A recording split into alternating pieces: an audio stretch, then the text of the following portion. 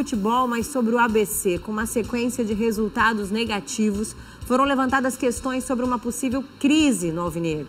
Apontado como um dos motivos dessa crise, o diretor executivo de futebol do ABC, Giscar Salton, conversou com a repórter Vanessa Florencio e você confere agora essa entrevista exclusiva. A fase do ABC não está das melhores. O time aos poucos vem caindo nitidamente de rendimento. E isso tem preocupado o torcedor alvinegro.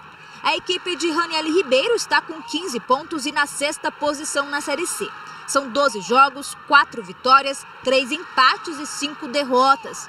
A última neste domingo em casa contra o Santa Cruz, quando perdeu por 3 a 0, deixou a luz de alerta acesa. E a dúvida se problemas no extracampo podem estar afetando o desempenho da equipe em campo. Não existiu confusão nenhuma, até porque nenhum momento, olha, deixa bem claro, lá no Acre, depois do jogo, no outro dia era folga, não houve nada entre o jogo, teve até umas falas irresponsáveis que essas falas vão ser, responsa é, vão ser responsabilizadas, mas não com vocês, vai ser juridicamente, tá? Porque falou que houve algo logo depois do jogo, citação até de um lado meu que estava embriagado, umas coisas assim que não foi legal. Mas isso, nós vamos falar juridicamente logo, logo, logo. O problema hoje não é o Salton. Eu estou aqui, não tem problema nenhum. Se, se quer me colocar como um problema, não tem problema. É, não tem nada. Eu, eu, eu tenho um presidente, tenho meu vice-presidente, não quero o meu trabalho, eu vou embora, tranquilo.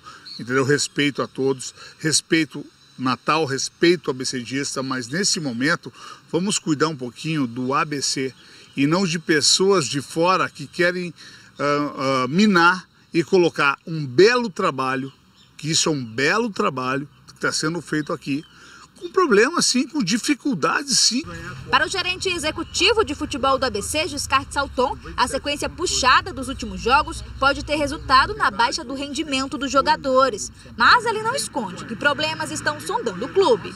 Esse grupo não é de uma hora para outra que ele deixa de ser bom, que ele deixa de. Ele, ele não é o suficiente, não.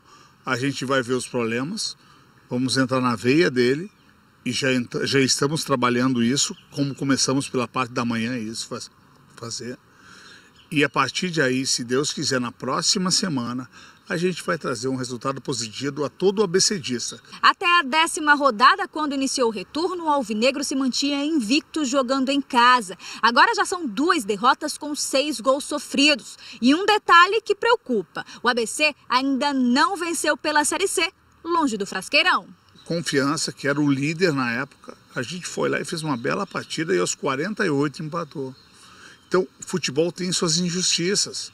Daqui a pouco o ABC também reconstruindo o momento dele vai ter algo a favor. Não adianta ficar colocar palavras ao, ao vento. Nós temos que ter atitude.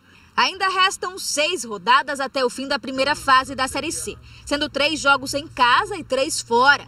Agora o objetivo principal do Alvinegro é quebrar a sequência negativa de seis jogos seguidos sem vencer. Nós temos que ir agora para o próximo jogo e trazer esses três pontos de volta. Ponto. E acredito que isso começa, é um recomeço.